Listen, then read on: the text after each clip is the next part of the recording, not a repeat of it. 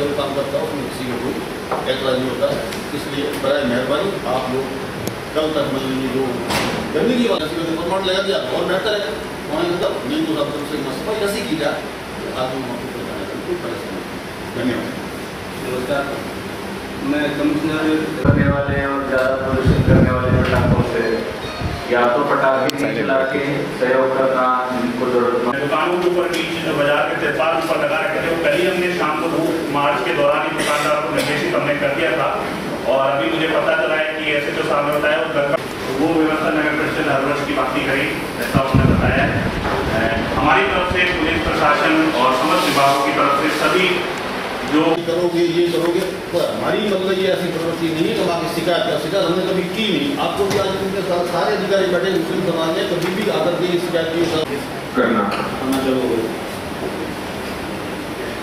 आगे ताजिया निकालने के रास्ते में वारा पशु विशेषकर गाय सांड काफ़ी संख्या वो व्यवस्था नगर परिषद हर की बात नहीं करी ऐसा उन्होंने बताया हमारी तरफ़ से पुलिस प्रशासन और समस्त विभागों की तरफ़ से सभी का सहयोग करती है इसको वाले को करती दूर संचार वाले तो हमारे साथ चलते हैं। क्योंकि आदमी हमारे साथ चलते हैं ताकि वापस होगी और अच्छे से ताकि हम भी कोई परेशानी नहीं हो और हमारा काम भी हो। और हम भी चाहते हैं। को आने वाले त्यौहार जैसे विजयादशमी है अपना मुहर्रम है और दिवाली है। तो उस हिसाब से शांति समिति की बैठक बुलाई गई थी।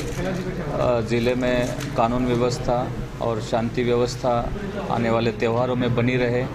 और त्योहारों को हर्षोल्लास के साथ, शांति और सद्भाव के साथ किस तरह से मनाया जाए और उसमें कोई डिपार्टमेंट्स की सहयोग की आवश्यकता है तो वो कोऑर्डिनेशन के हिसाब से इस बैठक को बुलाया गया था, जिसमें अच्छी से चर्चा हो गई इश्यूज़ को भी क्लियर हो गया और काफ़ी हद तक काम भी हो गए त्योहारों के हिसाब से और शांति और सद्भाव के साथ हर्षोल्लास के साथ ये त्यौहार मनाए जाएँ, ये हमने अपील की है लोगों को। जैसे कि बिजली के तार अगर जैसे ताजियों को जाते समय बीच में आ रहे तो उनको ऊपर उठाना है, पेड़ की टहनियाँ काटनी है, सफ़ाई जगह जगह की व्यवस्था है। उस संबंध में साथ ही विजयादशमी में रावण दहन के दौरान फायर ब्रिगेड की गाड़ी उपलब्ध कराना, पटाखों की दुकानों का लाइसेंस लेके ही दुकान निर्धारित स्थान पर लगाना, वहाँ पे भी सुरक्षा के उपाय और फायर ब्रिगेड की गाड़ी इत्यादि को यूज़ करना और कम प्रदूषण वाले पटाखे यूज़ करना या प्रदूषण विरहित दिवाली को मनाने का भी अ,